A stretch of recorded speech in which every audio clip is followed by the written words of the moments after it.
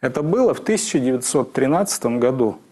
11-летняя девочка из Московской Ржевской гимназии приставала к своему дядюшке с просьбой показать, что у него написано на медальоне, который тот всегда носил с собой на груди. Дядюшка снял медальон и протянул девочке. Та открыла крышку, но там ничего не было написано. Кроме пяти нотных линеек и четырех нот – соль, диез, си, фа, диез, ми. Девочка помедлила мгновение, а затем весело закричала. «Дядюшка, я знаю, что здесь написано. Ноты на медальоне означают «я люблю вас». Представьте себе, как учили эту девочку.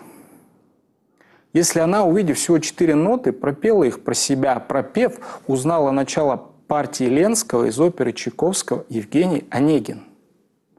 Потом оказалось, что этот медальон – оригинальное признание в любви, когда-то полученное дядюшкой в подарок от своей невесты, прямо перед их свадьбой. Только представьте, девочке 11 лет. Ее учили не в какой-то специализированной музыкальной школе или там музыкальном колледже, а в начальных классах обычной русской гимназии.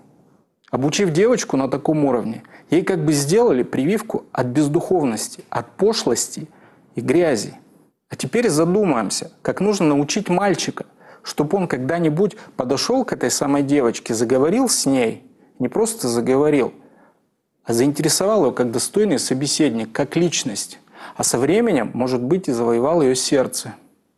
Теперь задумайтесь, почему все офицеры царской армии учились обязательно играть на рояле? Так ли это было необходимо в боевой подготовке? Может, для войны это было и не очень важно. А вот для генофонда, для будущего нации, конечно, очень важно. С одной стороны офицер, защитник, воин, а с другой – тонкий знаток музыки Чайковского и Шопена. Так жили всего каких-то сто лет назад. Такие дела –